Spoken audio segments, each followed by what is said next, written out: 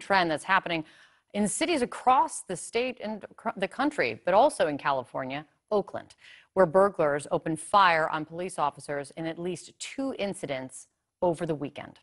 Out front with me now is Oakland Police Chief LeRonne Armstrong. He's been with the department 22 years. Chief, thanks for being here. What is, from what you can, what you've been able to gather, behind and driving this trend of smash and grabs in your city and elsewhere? We really believe it's organized crime it really is groups of individuals that are coming together uh, to commit these crimes in city through, throughout the Bay Area and throughout our nation. Uh, we've seen groups as large as 100 to 200 people come into our city in vehicle caravans, armed, and, and attempting to take over businesses and loot those businesses. I mean, are you making headway in arresting any of these people when you're talking about that many people involved? Yeah, arrests have been made both in Oakland and other cities. We are working together to connect these crimes. It's occurred throughout the Bay Area. San Francisco and Walnut Creek and other cities have been impacted by these groups. We know uh, that they didn't just uh, impact one city, that this is a collective group of people who have impacted multiple cities. So our district attorneys are all working together to levy charges against the people that have been arrested so far. Chief, we spoke to the mayor earlier this week, Mayor of Oakland, and she was very candid and clear and says part of the problem is that you don't have enough police on the force. I want to play for you what the mayor told me. Let me be clear. Oakland needs more police. We have been impacted by staffing reductions.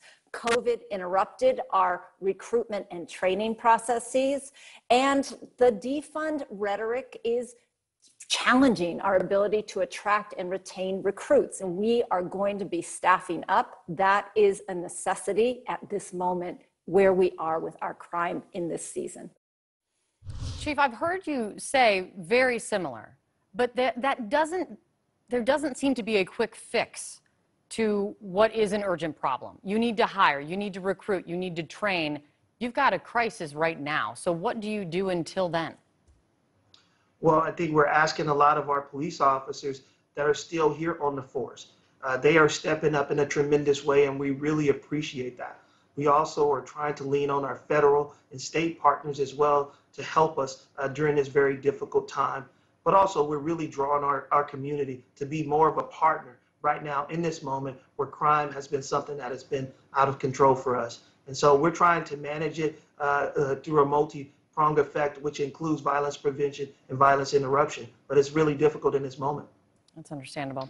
You know, Chief, while I have you, I do want to ask you about the tragic school shooting in Michigan because this type of violence hits very close to home for you. Your older brother, Andre, was reading, was shot and killed at his high school when you were young. You were just a teenager as well.